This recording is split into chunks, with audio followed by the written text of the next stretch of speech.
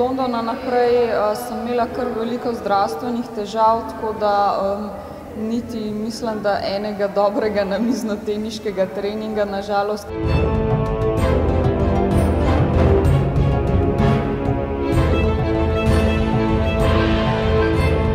Na srečo sem kar kmalu po operaciji že lahko delati začela vsaj s fitnesom, skrbeti za fizično pripravo in upam, da na ta račun mi bo potem tudi nekoliko lažje preiti nazaj na same treninge.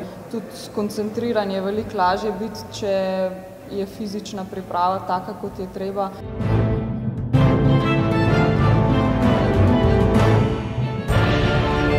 Manjka nam podmladka, tako da bi rada spodbudila vse, ki mogoče se še odločajo, ali bi ali ne bi prišli zraven, da naj poskusijo, ne vas biti strah.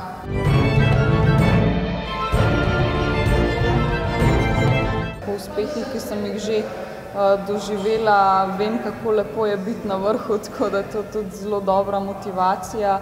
Ne bo lahko, ampak jaz si tega še vedno želim in verjamem tudi, da s pravo ekipo mi lahko na naslednjih olimpijskih igrah spet uspe.